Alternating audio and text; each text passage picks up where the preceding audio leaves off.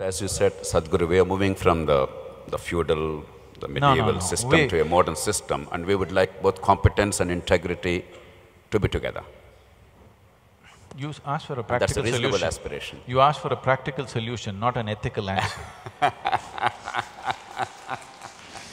now, we must understand the leadership as a whole in the last two hundred years has been… there has been a metamorphosis.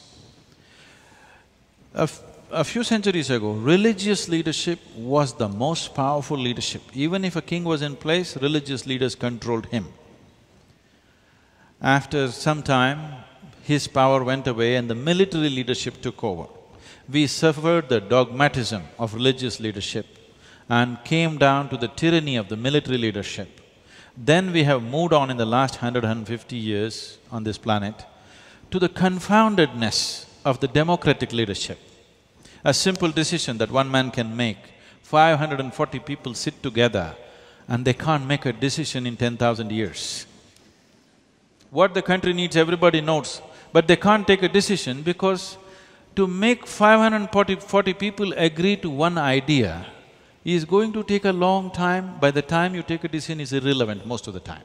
So I'm not talking about pessimism, I'm saying this confoundedness is there across the planet and nations and planet is suffering for this. Whether it's ecological loss or the, you know, many things, human rights and things, you can't take any decision because various interest groups and things keep pulling and pushing. Now one thing is happening, that is now leadership is moving into the hands of economic leaders or the business leaders. In the next fifteen to twenty years, you will see economic leadership will become far more important than political leadership. We are heading there, clearly. Even now, it is already very much there. In many countries, it's the businesses which decide what the politicians should do. We have done a different kind of job. We have an economist as a prime minister. The fact is, he's not a politician because he can never get elected. He's never been elected. So we are not following democracy because democracy happens by election. Right now, we are running the nation by selection.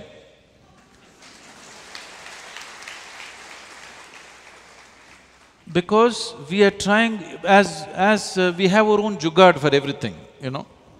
Across the planet, this is happening. The power is moving from political leadership to economic leadership. Here, economic leadership has not come to that level. So we have put an economist as a leader who is not… who has no political capabilities. In a democratic society, a political leader means if he stands up, a million people should stand up with him, only then he is a political leader. Otherwise he cannot be. So now it is moving to… into the hands of business. Always we have seen business as vested interest. They have the tag of vested interest hanging around their neck. This is a responsibility, I don't know whether they will stand up to it. In the last ten, twelve years, I'm constantly in dialogue with economic leaders across the planet and also in this country, mainly because I see in the next few years the world will be theirs. But they have always been seen as vested interests because these are people who are operating out of personal ambitions. To transform them from personal ambition to a larger vision is the most significant thing we need to do right now. Because whether you like it or you don't like it, the power will shift from political leadership to economic leadership. If you don't shift it consciously, it will move from economic leadership to criminalization because a criminal is a businessman. Personal ambition is what is driving him. But he doesn't go by the law, that's all the difference is. And now you see, many business people are also not going by the law because law is ambiguous and law is enforced ad hoc. It's enforced on me, not enforced on you. Now I think, why should I go by the law? I will also find some other way to do it. This culture is setting in. So if we do not shift this consciously, unconscious haphazard shifting will happen, naturally criminals will become leaders. You should not be surprised. People who have proper criminal records, if they become prime minister of this country in the next twenty years, you should not be surprised if we do not do anything about it now. That's the challenge, Sadhguru. What do we do? That's the precise question I'm asking. Because What do we do? I, I- I entirely agree with you because If power goes to businessmen, that's not going to be the best answer either. As you said, they're going to be vested interest there, while they have to be No, partners they in the have whole. been vested interests. About 10, 11 years ago, in the World Economic Forum, I coined this word called inclusive economics. Since then, this word has been bouncing around in many places, even the prime ministers of the nations are talking inclusive economics. If a more inclusive way of approaching economics happens, a businessman is a good leader because the thing about the businessman is he's flexible. He doesn't believe anything. He has no qualms about anything. If the deal is good, he will do it. Even if he has to do a, a deal with the devil, he will deal with the devil. He has no prejudice. The deal is good, he will do it. I'm saying he is the most pragmatic man in the society, he is the businessman. But right now, he is driven by his personal ambition. To shift him to a larger vision is a challenge, which last twelve years we have been actively working on. With individual people, we have succeeded phenomenally. And in the larger context, this is something very heartening on one level, is today if you meet the businesses of the world across the planet, like never before, there are many business leaders who are thinking how to do business in such a way that it will do some good to the world. It is very important, this, because a business means, business activity means just this. If I make some transaction, it is beneficial to both of us. Only if it is beneficial to both of us, this activity will be sustained. If it's only beneficial for me, it will not go on. Only beneficial for you, it will not go on. Whether it's ma marriage or marketplace, this is true, isn't it? If it's only beneficial for one person, it is not going to last. Only if the transaction is beneficial for both, it will last. So in that context, the world moving towards business leadership is a good thing, but the business leadership has to mature and evolve, which needs to be worked at.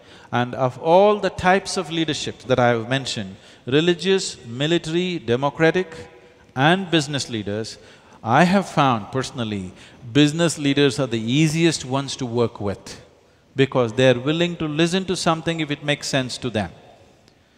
Religious leaders will not listen to anything because they already got instructions from elsewhere.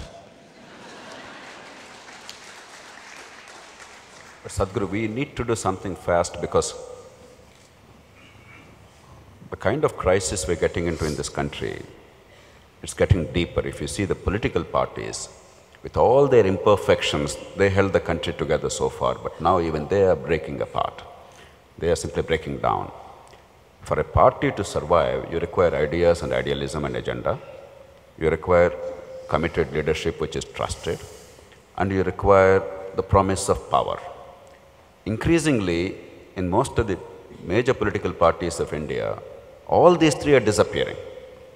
Long ago, idealism and agenda have gone. Leadership, for whatever reasons, the respect is increasingly diminished.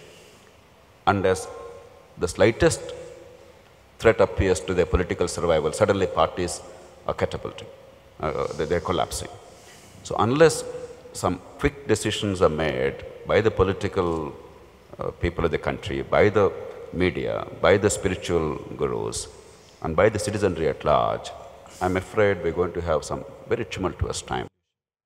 If you're looking for a solution, you must understand this right now. Even if it's a political leader, what is it that the people of this nation are expecting him to deliver? An economic answer, isn't it?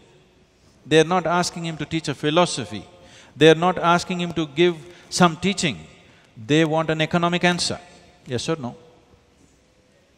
They want an economic answer, okay, how can I do my business, where can I get a job, what can I do? This is the question they're asking. So when this is the question they're asking, the leadership should have the necessary business, you know, capabilities. The leadership in India has no clue what's business, you understand? They are still think they are law enforcers. Yes, they are on one level. Yes, they are policymakers on another level, but they have no clue how to do business.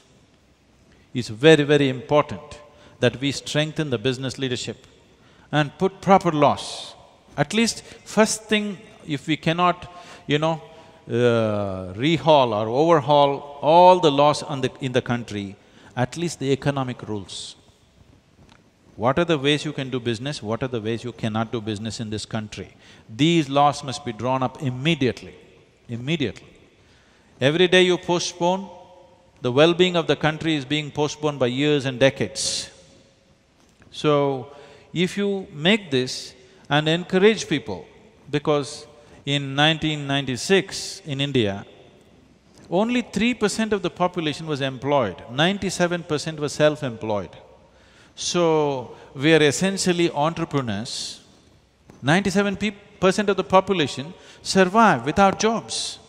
We are great entrepreneurs, but we are only selling chikkadkai, half a kilogram of chikkadkai. This is our enterprise.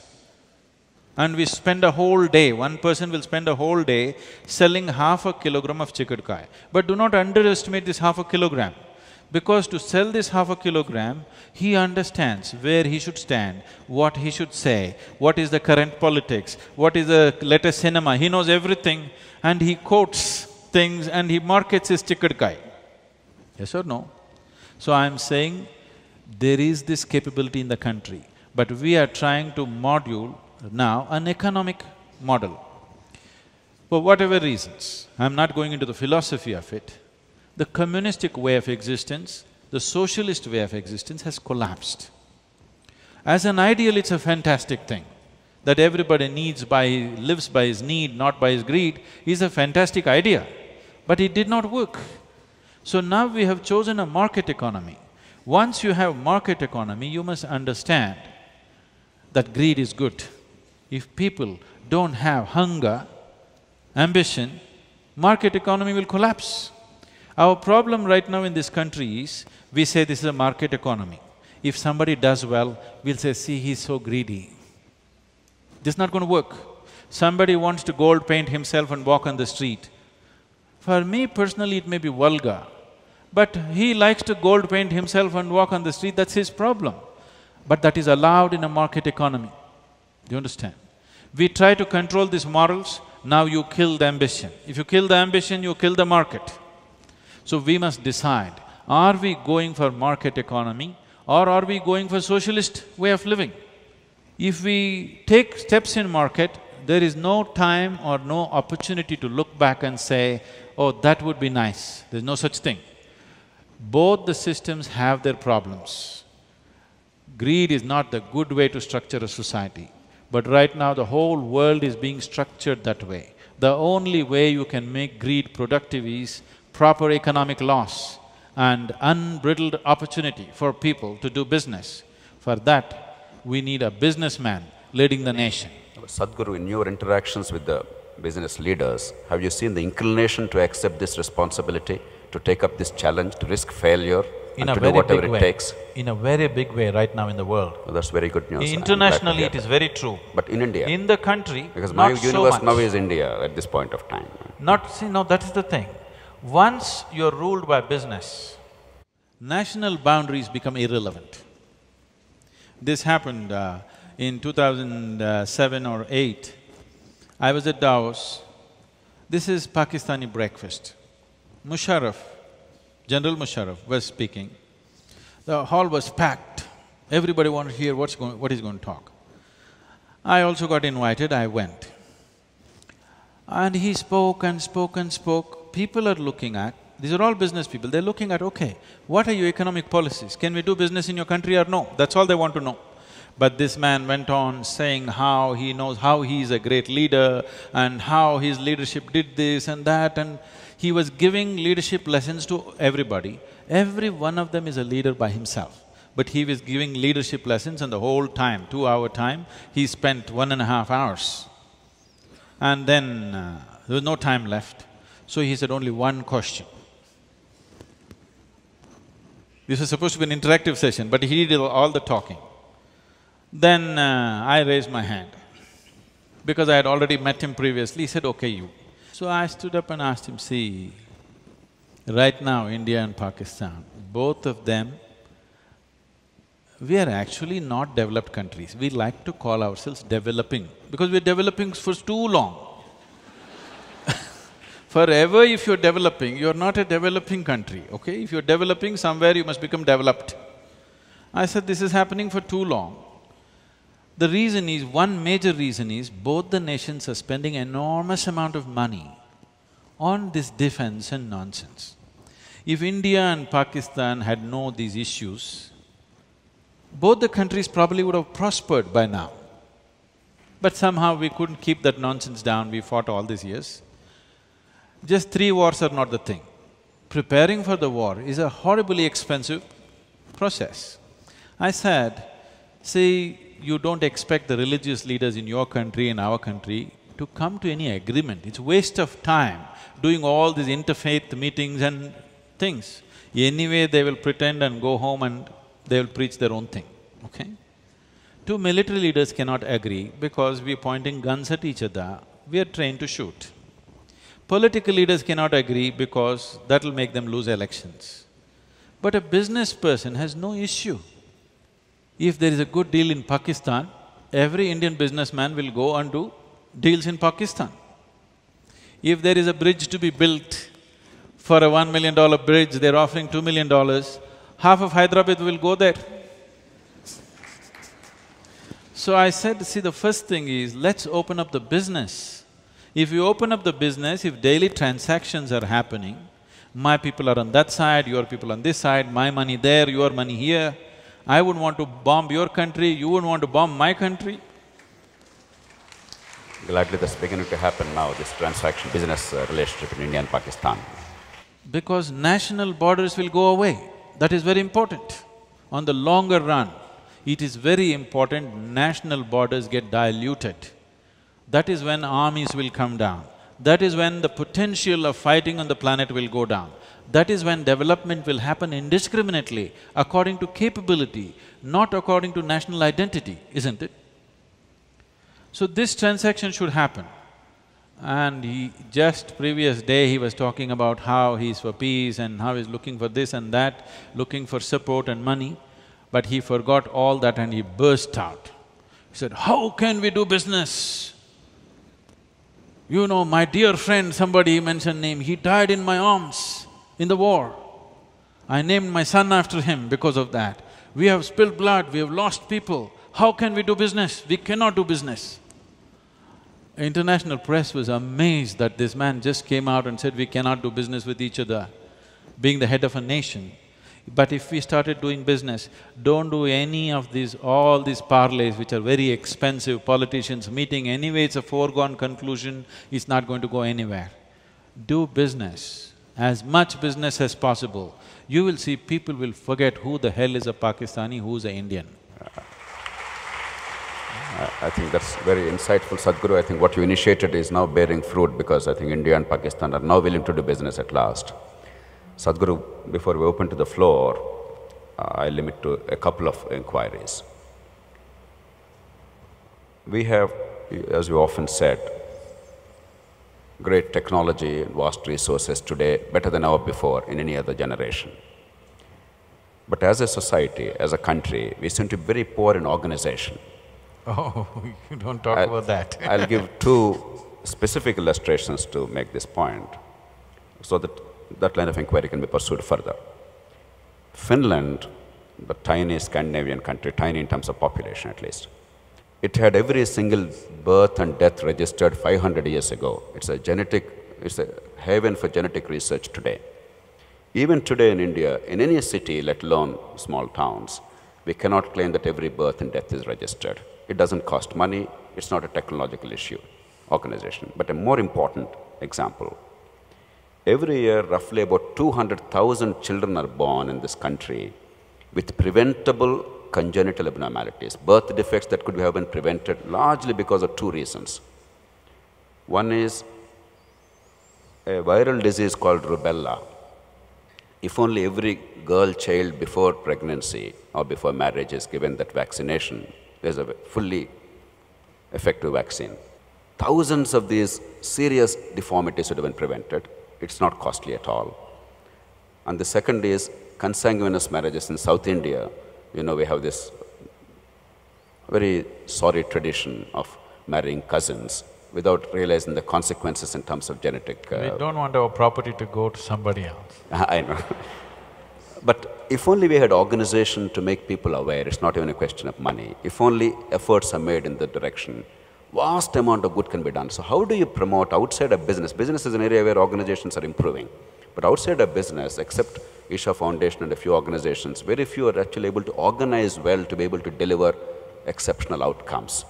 What can be done to, to, to really promote specific, well-directed action based on organization? Somewhere, can I say something? Somewhere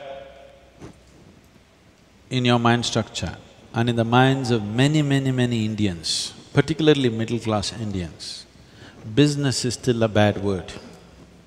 This must go. I'm saying even delivering the vaccine can be delivered by a business. It will be delivered much more efficiently, properly, and if they don't deliver it properly, you can ask them. You can demand that you want it because you paid for it or somebody paid for it. Right now, because it's a government agency or it's a social organization, whether it's Isha Foundation or somebody else, because we are delivering it as charity or as service, people cannot demand, why have you not done this? If it was business, they would have asked, why have you not done this? Otherwise we won't do business with you, we'll do business with somebody else. We'll buy the vaccine from somebody, not from you. So, business is not a bad word.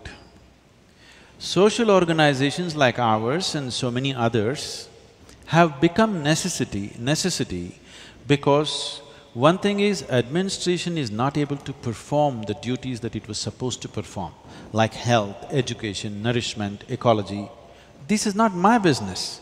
You know, like I went I went somewhere and uh, this big professor from Harvard University comes and says, oh, you are that amazing tree planter? I said, no, I'm not a tree planter. He said, no, you planted so many million trees. Yes, I did, but I'm not a tree planter. My work is to make people blossom, not to plant trees. The administration should have planted the trees. They didn't plant, so when I have time, I'm planting. So, planting a tree, building a school, building a hospital is actually not my business. It should not be if the nation is functional. These are things the administration should do if it is uh, that kind of medicine, if there is that kind of a Medicare system. Otherwise, businesses should do. Now, first thing if you say business in health is, you will say they will exploit, they will charge. Do you know how much this hospital is charging, that hospital is charging? It's all true. But now, if ten hospitals like that came, market, demand and supply would bring it down to reasonable levels. Right now, there's only one good one, so they're charging astronomical prices. If ten like this came up, you would choose where to go, where it's sensible to go, isn't it? And proper laws to see that they don't misuse and exploit this capability. So business is not a bad word. Social organizations can fill in the gap for some time. They can never be a total solution. I'm saying Isha Foundation is not a solution for all the problems of this nation. If thousand organizations like this come up, we function very efficiently with absolute dedication, but still I'm saying this is not a solution. This is only a patchwork, this is only a band-aid for a cancer. The problem is so huge. We do little, little things and people think you're doing great things. I just tell them, what is a great thing? The problem is so big and you do little thing and it's a great thing. Why? Because nothing has been done. Because nothing has been done, the little thing is a great thing, isn't it?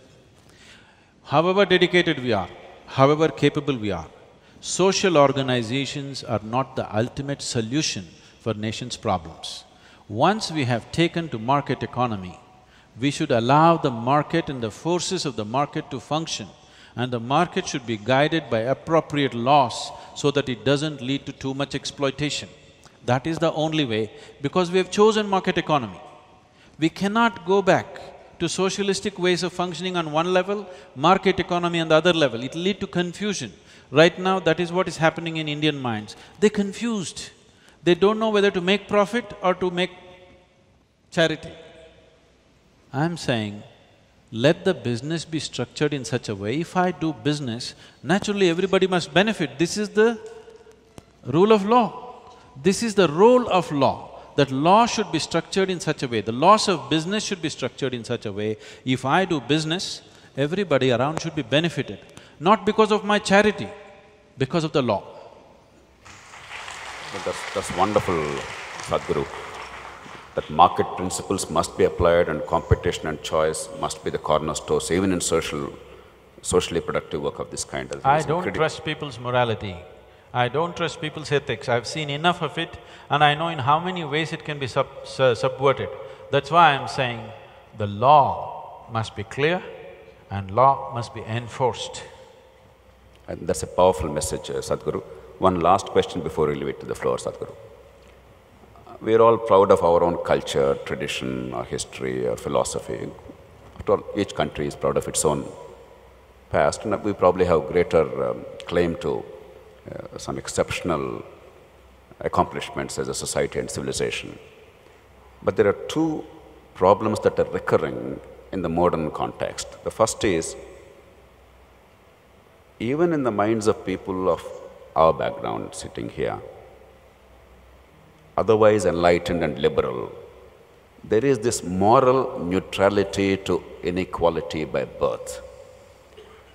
While we treat people who don't have an opportunity because of circumstances, because of poverty, with a lot of kindness, with a lot of compassion, we do not realize that those children are entitled to the same opportunity that my child is entitled to. It's, it's simply alien, it appears to me, to our culture unless a very strong message goes consistently. Unless everybody is allowed to rise, everybody will fall eventually. The second deficit appears to be, more or less as a corollary of this, a trust deficit, an incapacity to recognize that there is a common fate binding all of us. Politicians blaming bureaucrats, bureaucrats blaming judges, judges and politicians and bureaucrats together blaming media, all of them blaming somebody else. This is a blame throwing and treating the other fellow as a nuisance and not being able to look at the bigger whole and our own role in making the bigger things happen seems to be a very special Indian problem. What do you advocate, Sadhguru, to address these two challenges? See, we need to understand India. The problem is, we are trying to look at India through a Western education window. Right now, all the educated Indians, somewhere there is one window of Western education, rest of it is total chaos. And we like chaos. We are a colorful mess. As long as you're not trying to work with somebody, their Indians are fine. Because everybody is a genius by himself. But you can't organize a genius and get results. By themselves, they're good. You try to put them together, there's a big problem. So, what India is, is why it is like this is, I already mentioned this in passing.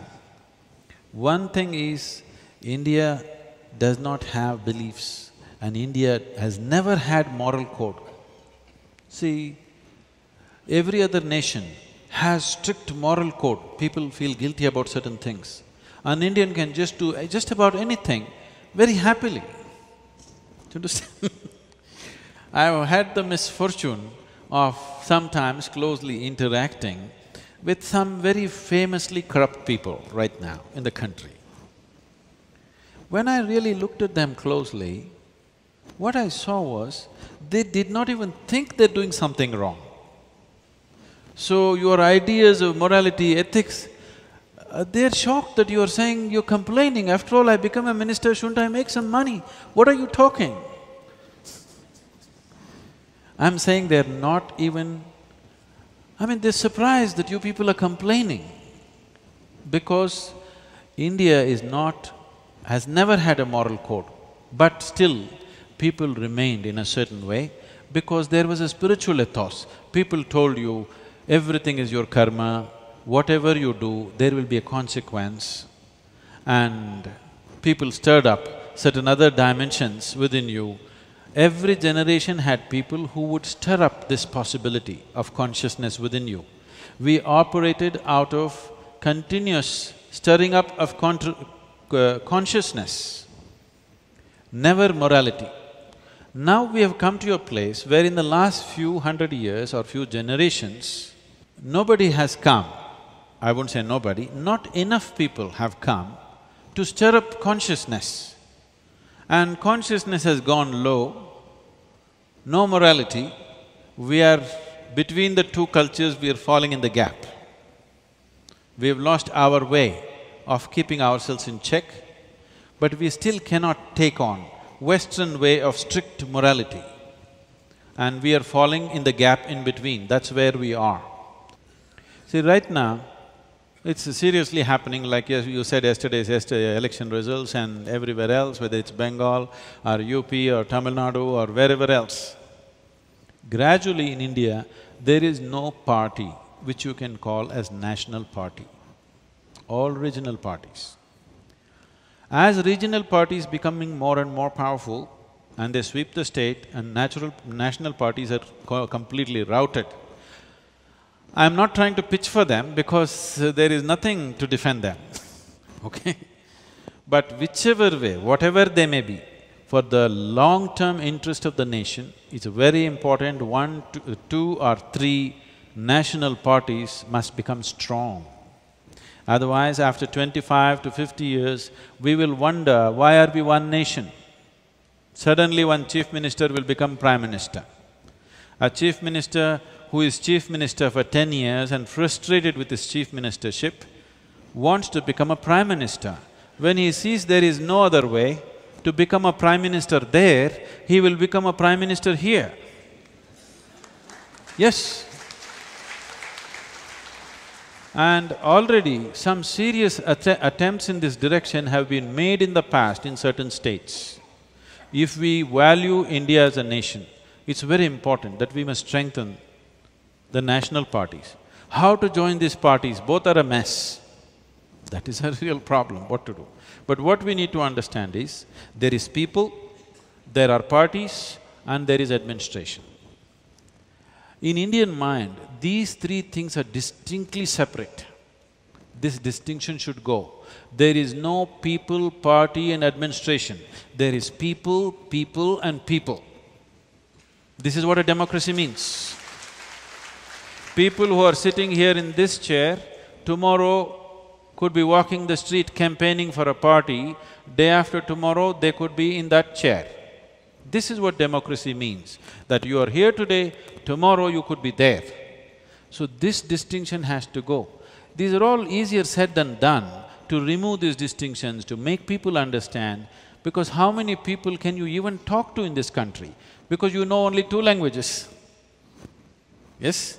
Maybe I know three languages, but how many people will you speak? There are sixteen, twenty-four languages in the country, who are you going to speak, who are you going to leave out? So there are these issues, there are these issues, but it is very, very important. However corrupt, however nonsensical, however rubbish it is, it is important to strengthen two or three national parties, otherwise there will be no India after fifty years, there will be many countries. Sadhguru, I, I actually entirely agree with you and Loksatta and I have been always articulating the need to strengthen national parties. The tragedy is they are their worst enemies. So we do require to transform politics. That's why I was so repeatedly pleading I don't unless blame we you find at all. an answer, I wouldn't like to join any national party because we know what's happening and the way it's conducted. So how do but we- that is the reality of our nation. But unless we transform them, unless, that's the reason why I'm pushing this today, unless the pressure comes from the spiritual gurus, from the civil society, from media, that the need of the hour is not merely replacing one with the other, but actual transformation of the nature of politics and building a framework for the unity of India, I entirely agree with you. So I'm privately, not publicly, not Oh, private. not announcing to people, Whatever it- giving them that privacy. Privately, we are slowly trying to transform many political leaders in the country. We have successfully worked with a few people, others are slowly coming in. But it's still a long process, it's not something that will happen overnight. And India, a country like India cannot be turned around overnight. If we work as a generation of people, maybe we'll leave a little better country for the next generation. That's where we need to look at. The most significant thing right now in the nation is people have come to a place where they're willing to give up their caste, creed, ideology, everything for economic well-being. This may be described as greed by certain people. I see it as a possibility. There is only one ethos, everybody wants to do economically well. This is an opportunity to transform the nation. When they're economically down, you ask them to leave their religion and come beyond that. You ask them to leave their caste and creed and come beyond that, they will not come because that net is a security belonging to a certain caste, belonging to a certain religion, belonging to a certain community has been their security for centuries, for thousands of years. Suddenly you ask them to come out, they won't come. Only if you throw up a big opportunity and a dream out there, people will crawl out of those nets, risking their life. So economic opportunity is the most important thing right now. Personally, it leaves this taste in my mouth to go on talking and pitching for economic possibilities because that's not going to transform human life. But right now, if nation has to crawl out of the pit, social, economic and political pit it is in, right now I see the only solution is economic development should happen. It'll come at various costs will be there, there will be a price to pay for that. But we must pay the price, otherwise we'll stagnate where we are. Sadhguru, that practical wisdom actually is music to my ears. Unless we have such unrelenting focus on economic growth and rapid economic growth, I entirely agree, both political and social problems will only be exacerbated. I think we should give an opportunity to the floor to raise, I'm sure, far more interesting questions. How do we find this balance, the balance between this base need and this high need of spirituality? Because I think that in the, we are in the middle and what we want is a ease in life in this democracy so that we can all become seekers and concentrate on seeking as opposed to concentrating on surviving. That's my question. The question is for him, right? No, it's for you, Sadhguru. The balance is about you. We're all imbalanced people. now, uh, I will simplify this. How do I bring a balance between Right now I am hungry. I am. Right now I am hungry. How to fill this and how to attain to the highest goal, whatever that is, mukti or liberation, or how to fill my belly and how to meditate. How to make these two things happen? You are addressing it as if they're two separate things. Do not address it as two separate things. You are a human being. You are a human being who's come with both the needs. But when you're hungry, if I ask you to meditate, you are not going to meditate. Will you? And I will not ask you to meditate because I think when a man is hungry, asking him to meditate is vulgar. It's an obscenity. To… when somebody is hungry, you talk to him about mukti, I think it's obscene. I will not do such a thing. If he's hungry, we must see how first the food should happen. Then only we can talk about another dimension. So do not look at it as two separate things, but physical need is an urgent need. Meditation, you could postpone it to tomorrow. Dinner you must have today, isn't it? So economics is the need right now because half the population has still not eaten properly yet. You can talk meditation only to those who have eaten well not to those who have not eaten well. We don't do such things. That is why Isha has a spiritual aspect and a social aspect. I don't like to do the social thing. If the administration has taken care of all the social needs, I would like to do just the spiritual part. But if I do just the spiritual part, I will leave out half the population. So I am doing the social thing with them. So do not separate it. If you… your stomach becomes full, immediately the other need will naturally come up within you. I don't have to tell you you meditate. You will start looking, what do I need to fulfill my life? Because this is the nature of a human being. If you came here as some other creature, Stomach full, life settled. Once you come as a human being, stomach empty, only one problem. Stomach full, one hundred problems. So, once your stomach becomes full, you will seek other things, you don't have to be told. You will seek anyway, then other things will come anyway. That's why we are talking so much about economics right now. I think there is a hint from Sadhguru that we should wind up because he's hungry. Um, who is next? No, no.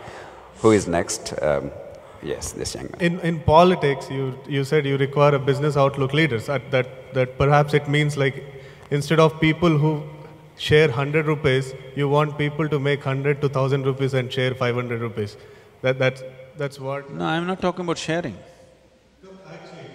See, he said, he said, politicians have spent some five hundred crores something. I said, no, they have invested. So, but the problem is, it is a business, but it's an illegal business. There is no law monitoring it rigidly enough to make it a legal business. Now in United States of America, right now, Barack Obama and Mitt Romney are going around the country raising millions of dollars for their election. But it's a legal business. If he takes one dollar more illegally, he'll go to prison. We just have to do that, isn't it? Right, Guru. Uh, coming to my question, it's like there's been uh, this bypoll elections. I went to a went to the campaign because you know motivated. You must arrive at the question quickly. Yeah, because not because I am hungry, because so many hands are going up. No, there has to be a background formed for the question because otherwise it's difficult to understand. No, we are capable so, of understanding the context. The question, if I have to put in a nutshell, then how an intellectual and a person with a business outlook can stand for elections and win? This culture of economics has still not come. We are in still a culture of charity. We have to bring a culture of economics because you've chosen a market economy. See, this is not a simple decision to make. For the uh, builders of this nation, they chose a socialistic economy because it was more endearing to think in terms of let's share, let's do things better. You know, it's not about you versus me, let us do this, but it did not work. As an idea, it's a great idea, but it's an idea that's failed because humanity is not ready for such a big idea. Right now, we have come to a much grosser idea, okay? Market economy is a gross idea, very crass way of existence but it's working better than the very refined idea. I'm interested in making it work because ideals on an empty stomach means nothing. I know four hundred million people in this country have not eaten one good meal in the last ten days, probably. So when this is our condition, ideals are a taboo. I'm saying this to him. Ideals are a taboo. Nobody ha can have the luxury of having ideals. We just have to do what's needed. After everybody has eaten, then we can talk what is our ideal, what is our philosophy, what is our ethic. First people have to eat because eating cannot be postponed to tomorrow. Philosophy can be postponed to tomorrow, meditation can be postponed to tomorrow, eating cannot be postponed to tomorrow, it has to happen now, isn't it? So for this, once we have chosen econ economic… our economic model is market economy, please strengthen the market and nothing else but the market. People tell me, what is this? You say you're a spiritual leader, but you're charging for this. I said, I will charge. Somebody who comes who cannot pay, I will do something else.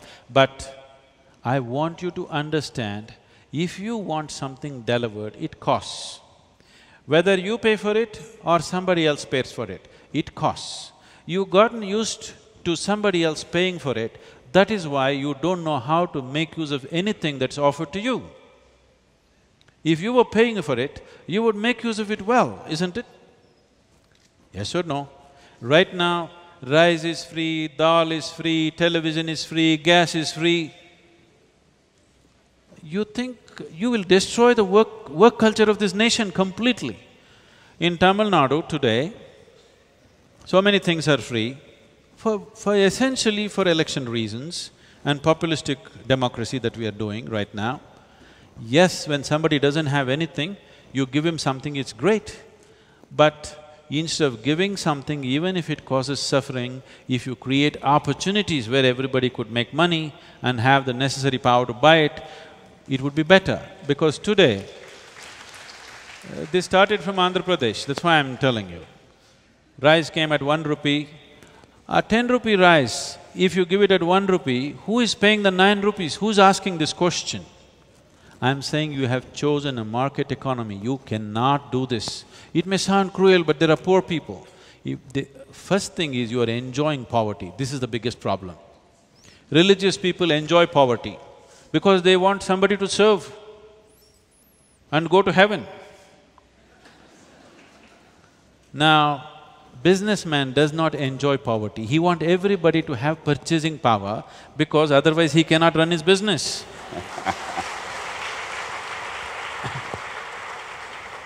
I think three powerful messages are coming from you, Swamiji, today.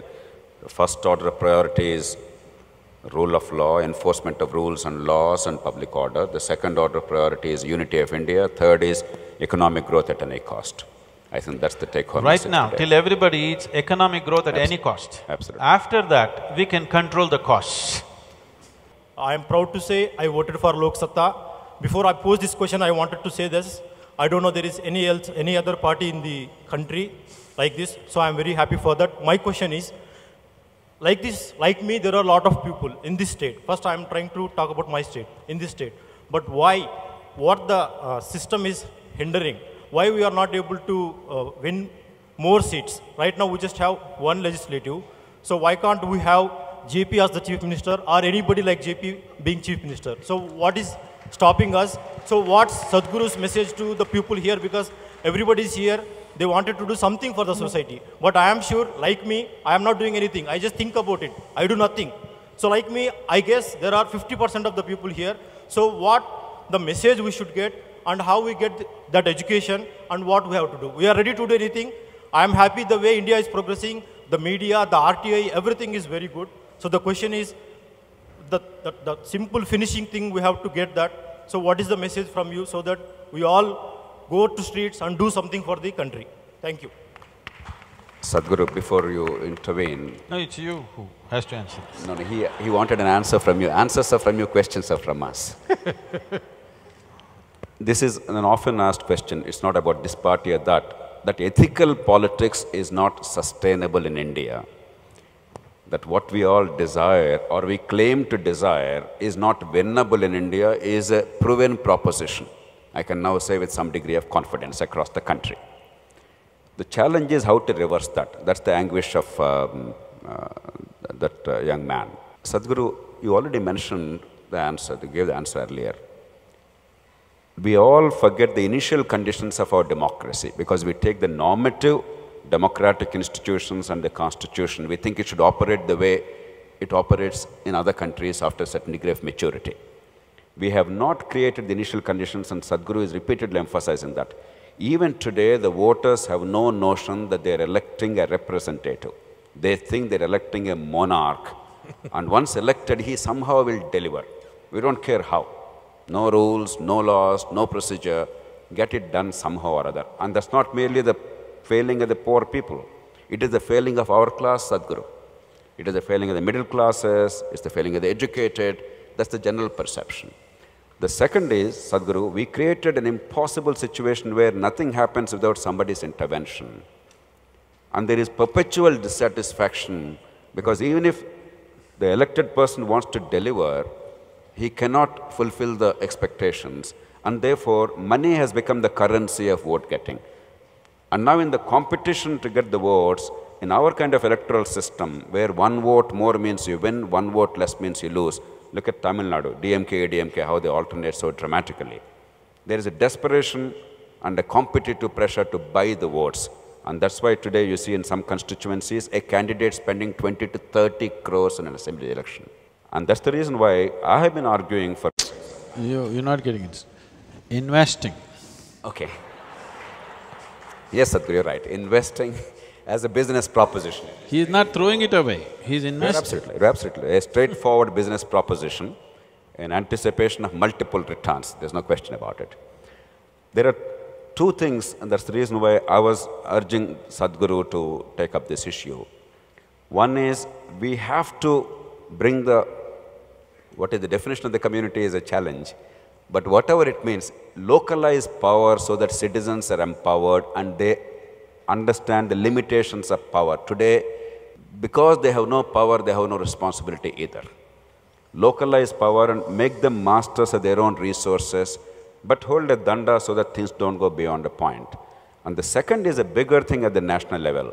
Unless we push the political parties, the big national parties, uh, Sadhguru, in the large states of India, UP, Bihar, Bengal, now Andhra Pradesh, Maharashtra, Tamil Nadu, the six largest states of India, the two grand national parties of this country are more or less decimated. Andhra Pradesh, now it's pretty close to that. Other party was never there. In Maharashtra, both are playing second fiddle. Elsewhere, they are not a factor, which is a unique feature. We are thinking it's normal, it's absolutely unnatural. These parties, once they fall below a certain threshold, they're disappearing in state after state. With the recent fragmentation, this will only get worse. Now is the time for us to make them realize that there's a different way of electing our representatives, where this kind of money pressure is not there. One possibility is, with certain checks and balances, proportionality-based system.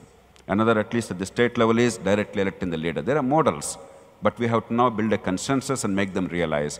Meanwhile, no matter how many hardships we have, once the goal is clear, we have to keep on fighting. I don't see a short-term alternative unless the Sadhguru and many others, they use all their formidable spiritual and temporal influence and authority to move the country in the direction that we all desire. Sadhguru. In that effort, last uh, four years I've been striving to put all the spiritual leaders on one platform. This is called the Confederation. It's, e- it's even tougher than NGO leaders, I thought, getting them together. And Confederation of spiritual, indigenous spiritual movements. We're calling it as Guru Sangamam, putting all the gurus together. I don't want to talk to you about my experience, okay? But we have managed for the first time this year, in the month of April, 123 gurus, prominent ones, we all met. The last four years, I've been trying to educate them. We can simply meet without an agenda. There is no need. What is the agenda? What will… what shall we do? Shall we take Padayatra? Shall we fast? Shall we eat? This is the question. I said, no, we will just be together, maybe share a lunch, just be together. Just because each one of you, each one of us have millions of people. Just coming together is a major event. Let's come together, the power of being together, you're not understanding. So we are doing that, but that is still a long way to become a force by itself, as a guiding force, because each one of them will tend to take or jump to some party or the other. I'm trying to keep them away from any party, let it just be a few things that needs to happen in the nation rather than pitching this party or that party, because once again the same thing will happen. But uh, for you, a man of your integrity, you must jump into a party which is… which you think is of a lesser evil. but evil. Whichever is a lesser evil, you must jump into that because this young man, he feels proud, I have voted for Lok Satta. But his pride is just empty pride which will go waste, which will not build a nation. Your integrity, your ethic, your moral, your intentions, your intellect, wanting to do something, all this will go waste unless you have the legs and the hands to do it. It should not go waste. It should not go waste. Because… because I want you to understand this.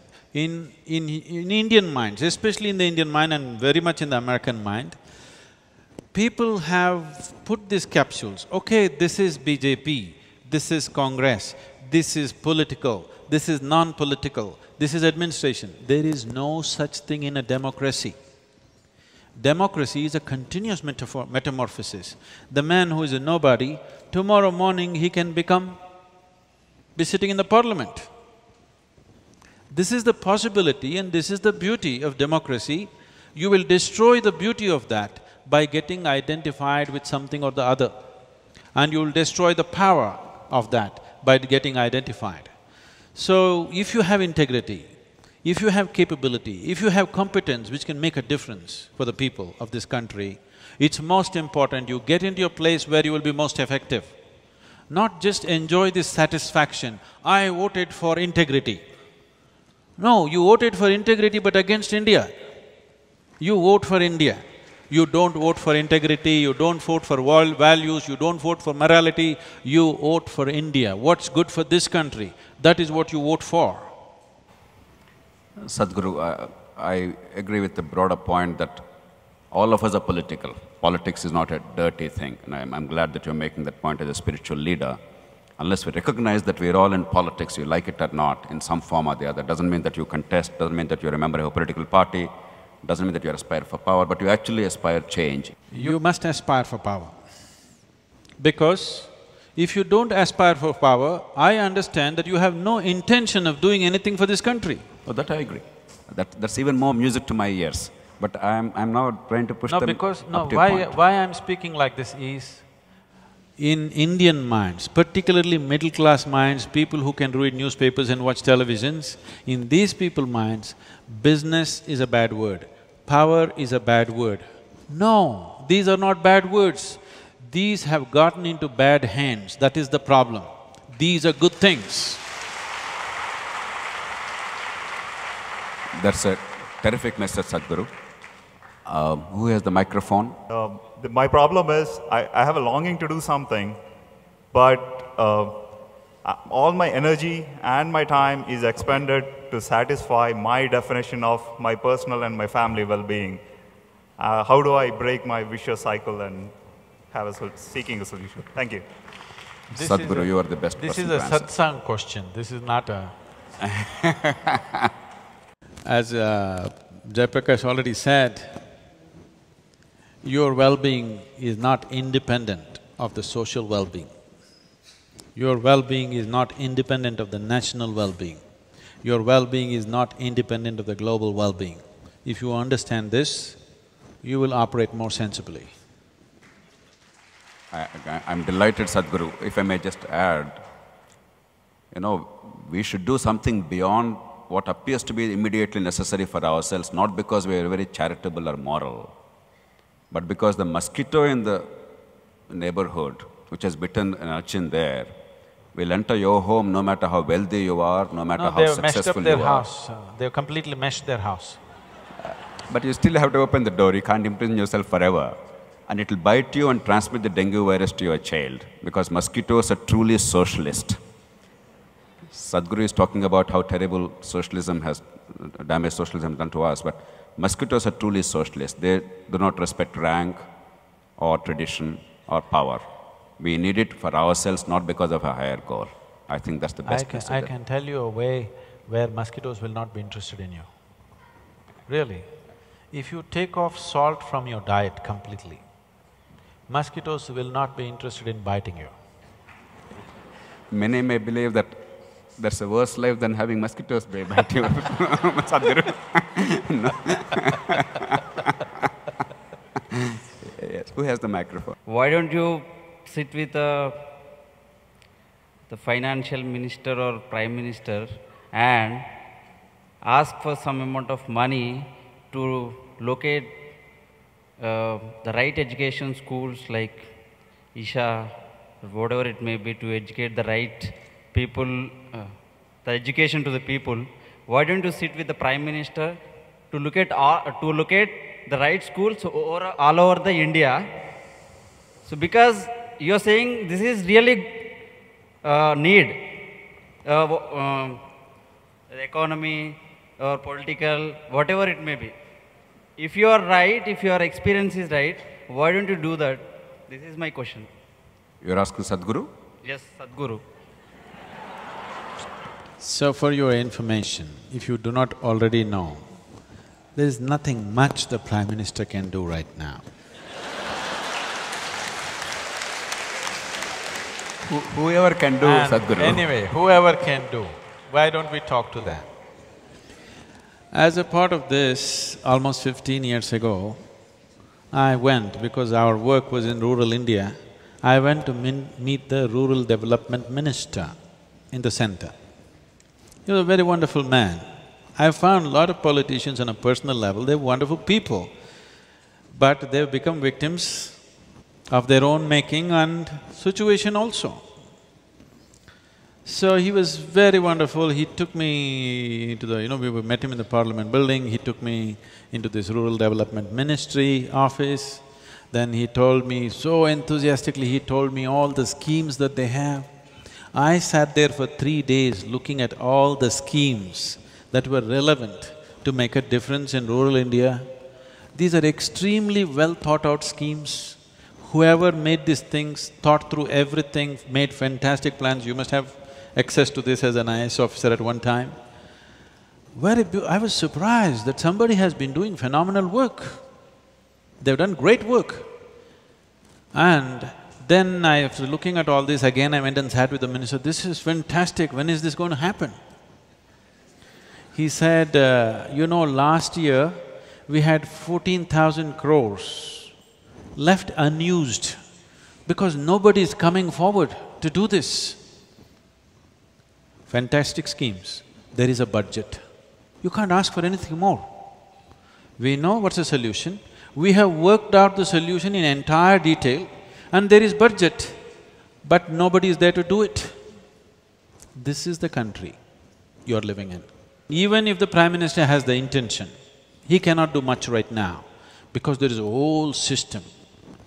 So instead of going on trying to revive a system, system which is cancer-ridden, to deliver goods to the people, I, I was… Uh, I was on uh, dais with some local ministers in Tamil Nadu and uh, somebody gave me an information, me information, I said, out of every rupee that is spent in the government schemes, only twelve paisa reaches the project.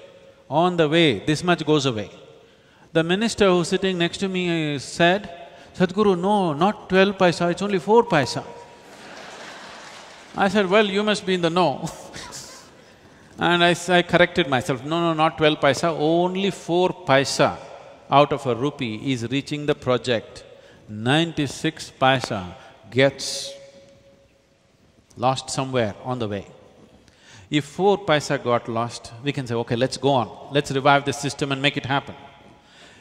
If only four paisa is being delivered, that is not even a system, isn't it? Even if you throw it in the air, four paisa will fall in your pocket. You don't need a system for this.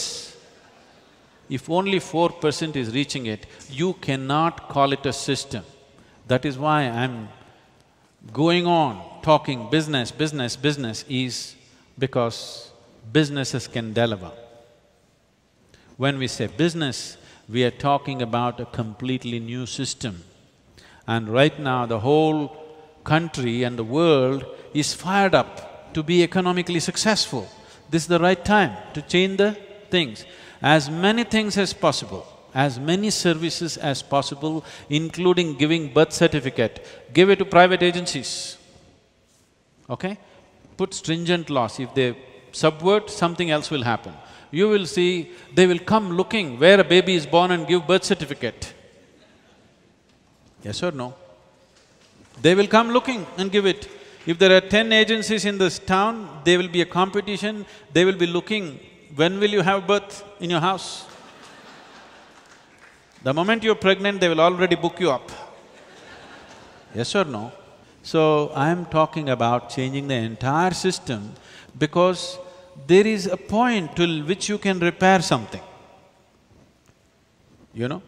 You bought your Maruti car in 2000, it's 12 years, you've used it extensively but still you can repair.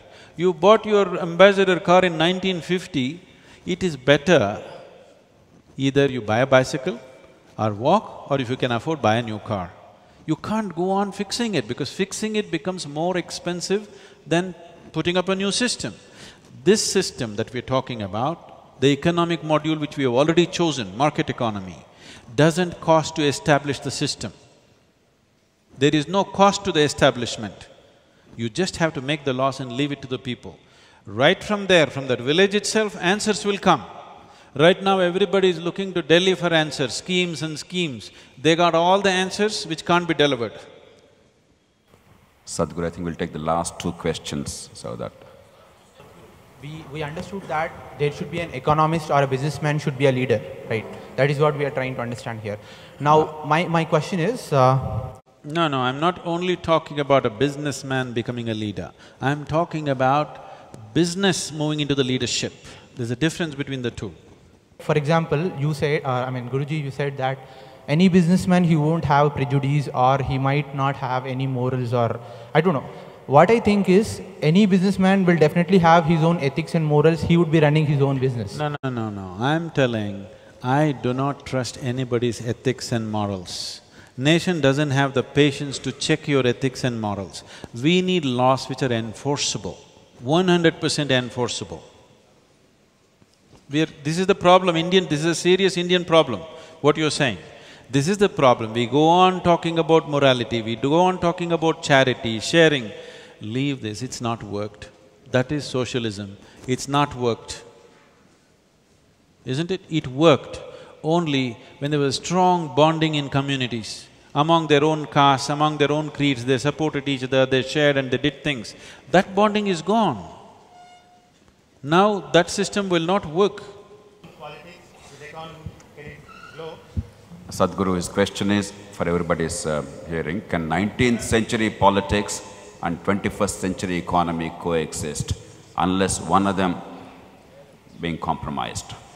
Uh, it is very wrong to think we are doing nineteenth century politics. We are doing twentieth century politics. You are just having a taste of twenty-first century politics and it's leaving a distaste in our mouths.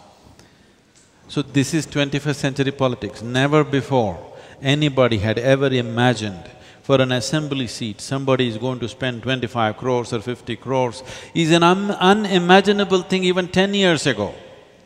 So it is purely twenty-first century politics, not nineteenth century politics. The question is, what are your views on Anna Hazare? Sadhguru, he asked you, I'll certainly give my views if they ask me, but Sadhguru, you must respond. My interest is not Anna Hazare, my interest is nation. I am not interested in Anna Hazare, I am not interested in Indira Gandhi, I am not interested in Narendra Modi, I am interested in this country. Country means people.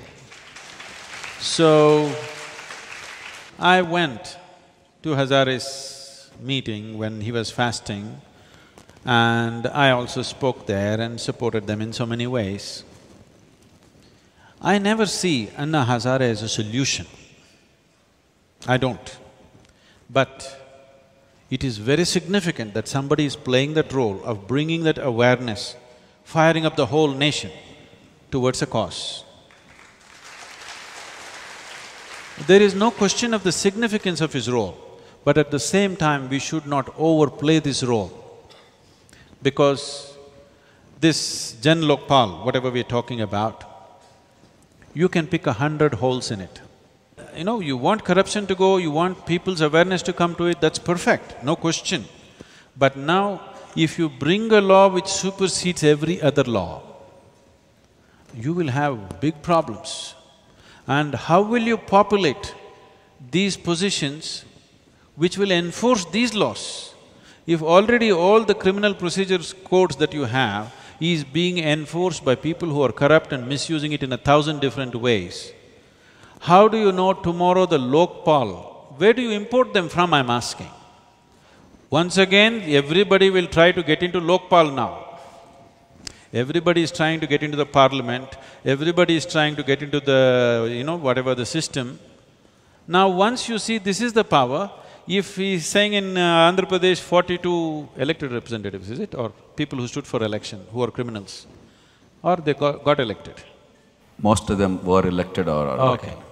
So forty-two people in one assembly are people with established crime behind them.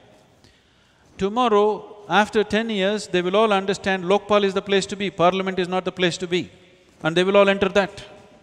And with such sweeping powers, it'll become a very dangerous force. But I don't believe what he is doing is right, but it is appropriate. Right now it is needed. Right now, we need to shake up people and tell them, if you don't do this, we're going to hang you. Somebody needs to do this. And he is doing that, hats off to him, he's managed to somehow. But it's a limited role. He and people around him must understand, it's a limited role. If you stretch it beyond that, that will become the problem. We have reached a time in our nation where the question is not about who is corrupt. The question is about who is not corrupt, unfortunately. If the question was who is corrupt, it would be easy to fix it. The question is who is not corrupt. One Jayaprakash Narayan is a shining example. It is…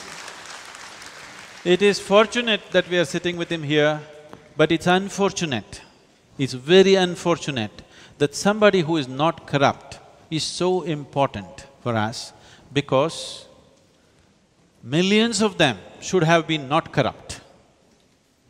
But now we've brought this nation in sixty-five years.